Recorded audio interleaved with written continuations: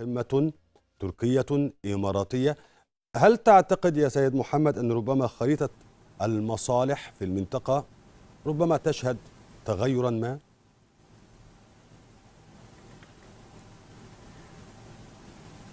بداية أرحب فيك وأرحب بالسادة المشاهدين. طبعا تأتي هذه الزيارة إلى دعوة كانت رسمية من سيدي صاحب السمو الشيخ محمد بن زايد عندما زار تركيا.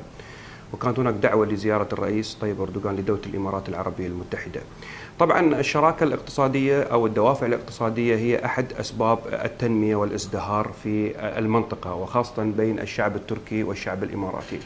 لذلك أعتقد أن الاقتصاد والشراكة الاقتصادية أصبحت الآن هي نموذج واضح لعمق العلاقات الاستراتيجية المرتبطة ما بين الدول. الإمارات للأمانة استبقت الجميع في الملفات الاقتصادية وفي مجالس التنسيق الاقتصادي ووقعت اتفاقيات كثيرة مع دول كبيرة جدا ودول آه، شرق آسيا ودول أيضا أوروبا فيما يخص الاقتصاد. ومنها الآن نشاهد آه، توقيع الاتفاقيات التي كانت في تركيا واليوم تأتي الزيارة آه، للرئيس طيب رجب أردوغان إلى دولة الإمارات.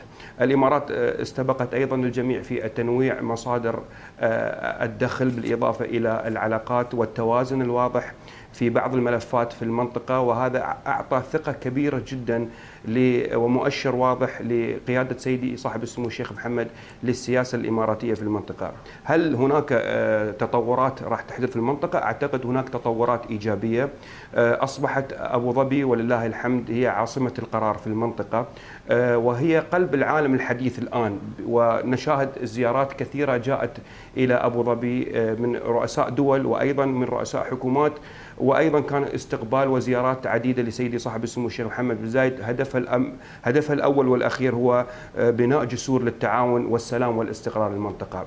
لهذا نشاهد هذا هذا الاستقرار الآن الاقتصادي المتنامي المرتبط بالنمو ما بين تركيا ودولة الإمارات العربية المتحدة في تعزيز العلاقات الثنائية ودفع التعاون الاقتصادي والتنموي لمصلحة الشعوب والمنطقة.